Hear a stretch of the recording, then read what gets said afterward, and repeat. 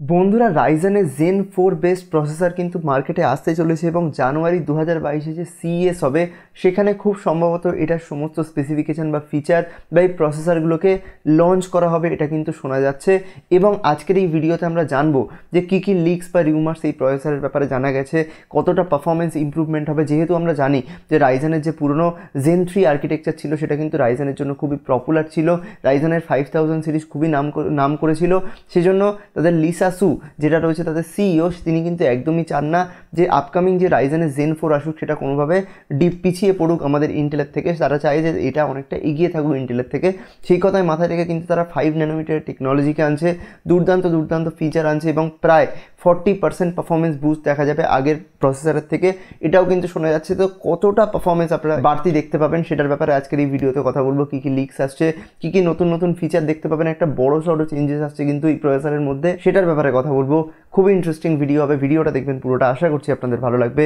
আসসালামু আলাইকুম বন্ধুরা, ভাই আইহান মুস্তাফিজ। তাহলে চলুন না দেরি না করে ভিডিওটা শুরু করা যাক। বন্ধুরা এএমডির যে সিটিও মার্ক পেপার মাস্টার তিনি বলছেন যে সি সিএস দু হাজার বাইশ মানে জানুয়ারি দু হাজার বাইশে সিএস আছে, সেখানে তাদের রাইজেনের সেভেন থাউজেন্ড সিরিজ লঞ্চ করবে। এটার নাম খুব সম্ভবত রাইজেনের সেভেন থাউজেন্ড হতে পারে বা সিক্স থাউজেন্ড হতে পারে। মানে মোটামুটি এটা হচ্ছে জেন ফোর আর্কিটেকচারের উপর বেস্ট হবে। এরকমই শোনা যাচ্ছে। এছাড়াও জানা যাচ্ছে যে এই যে টেকনোলজি এটা কিন্তু একটা ফাইভ ন্যানোমিটারের ফিনফেট টেকনোলজির উপর বেস্ট হবে, যেটা সম্ভবত টিএসএমসির থেকেই তারা ম্যানুফ্যাকচার করাবে, যারা এতদিন ধরে তাদের জন্য সেভেন ন্যানোমিটার বা সেভেন ন্যানোমিটার প্লাস প্লাস এই টেকনোলজিগুলোর ম্যানুফ্যাকচার করে আসছিল। এটা কিন্তু একটা বড় জিনিস জানা গেল যে ফাইভ ন্যানোমিটারে তারা আপাতত জাম্প আপ করছে।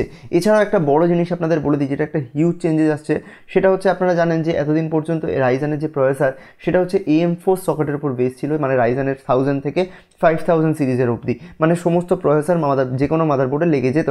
কিন্তু আপকামিং যে প্রসেসরটা আসছে মানে সিক্স থাউজেন্ড বা সেভেন থাউজেন্ড যেটাই নাম হোক, সেটা কিন্তু জেন ফাইভ আর্কিটেকচারের উপর বেসড হবে। মানে আর পুরনো প্রসেসরগুলো এই মাদারবোর্ডগুলোতে লাগবে না বা এই মাদারবোর্ডে কোনো পুরনো প্রসেসর লাগবে না। মানে ভাইসা ভার্সা কোনোটাই কোনোটার সাথে লাগবে না। যেরকম আমরা ইন্টেলের ক্ষেত্রে দেখে আসছি। ইন্টেলের হার্ডলি একটা থেকে দুটো জেনারেশন প্রসেসর মাদারবোর্ডের সঙ্গে লাগে, বাকিগুলো কিন্তু লাগে না। মানে আপনারা বুঝতে পারছেন, পুরো সকেটটাই চেঞ্জ হবে। এছাড়াও একটা বড় আপডেট দেখতে পাবেন আপনারা এমপোস সকেটের মাধ্যমে, সেটা হচ্ছে আপনারা এতদিন পর্যন্ত কিন্তু পিজিএ টেকনোলজির ইউজ দেখতে পাচ্ছেন। মানে পিন গ্রেডের যে অ্যারে সেই পিন গ্রেড অ্যারে কিন্তু আপনারা দেখতে পাচ্ছেন। মানে আমরা জানি যে এমডির যে প্রসেসর তার উপর কিন্তু পিন থাকে ছোট ছোট এবং আমাদের মাদারবোর্ডের উপর সেটা বসে যায়।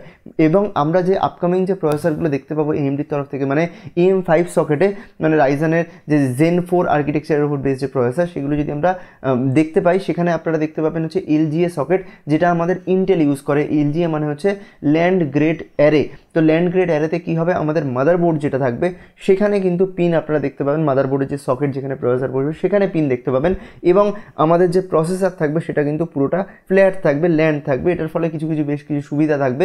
মানে এটা কিন্তু একটা হিউজ চেঞ্জ মানে আপনারা বুঝতেই পারছেন, কোনোভাবে আর পুরোনো প্রসেসর নতুন মাদারবোর্ডে লাগবে না বা নতুন প্রসেসর পুরোনো মাদারবোর্ডে লাগবে না। এটা কিন্তু আপনারা বুঝে গেলেন, কারণ পুরো ব্যাপারটাই চেঞ্জ হয়ে যাচ্ছে। এবং এলজিএ সকেটে যে জাম সেটা কিন্তু একটা খুবই ভালো জিনিস।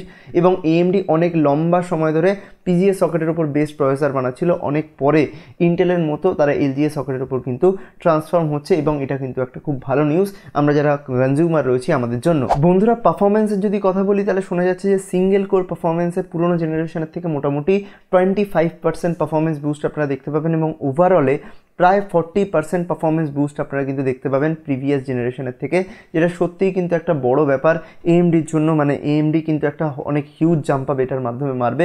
এবং যেহেতু এখানে ফাইভ ন্যানোমিটারের টেকনোলজি ইউজ হবে ফর্টি পার্সেন্ট পারফরমেন্স বুস্ট হবে মানে আপনারা বুঝতেই পারছেন। এছাড়াও যেহেতু এখানে ফাইভ ন্যানোমিটারের টেকনোলজি ইউজ হবে মানে যেহেতু ন্যানোমিটারটা আরও ছোটো হয়ে গেল, তাহলে কী হবে? আমাদের যে ট্রানজিস্টার রয়েছে সেটা কিন্তু আরও ট্রানজিস্টারের যে ডেন্সিটি সেটা কিন্তু অনেক বেড়ে যাবে। মানে প্রায় one point eight seven x ট্রানজিস্টারের density বেড়ে যাবে। মানে আগে যা ট্রানজিস্টার ইউজ হতো, তার থেকে প্রায় one point eight seven x বেশি ট্রানজিস্টার কিন্তু এই ফাইভ ন্যানোমিটারে ইউজ হবে। এবং এটা খুব স্বাভাবিকও, কারণ একই জায়গায় যেহেতু আমাদের ট্রানজিস্টারের স্পেসটা অনেক ছোট হয়ে গেছে, সেখানে সেভেন ন্যানোমিটার থেকে ফাইভ ন্যানোমিটারে হয়ে গেছে। তার ফলে বেশি ট্রানজিস্টার কিন্তু ধরানো যাবে। এটা কিন্তু একটা খুব স্বাভাবিক ব্যাপার এবং এর ফলে আপনারা পারফরমেন্স বুস্ট কিন্তু দেখতে পাবেন। এটা খুবই স্বাভাবিক একটা ব্যাপার।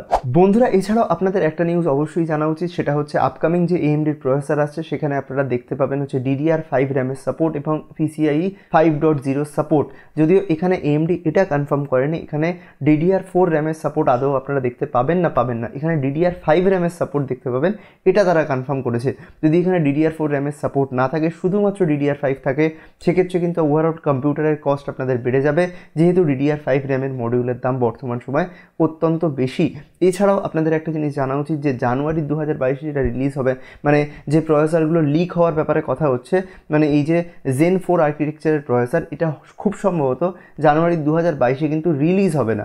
এখানে হয়তো সমস্ত স্পেসিফিকেশান লিক হবে, কিন্তু রিলিজ হবে না। রিলিজ হবে খুব সম্ভবত জুলাই দু হাজার বাইশ কি আগস্ট দু হাজার বাইশ এই সময়।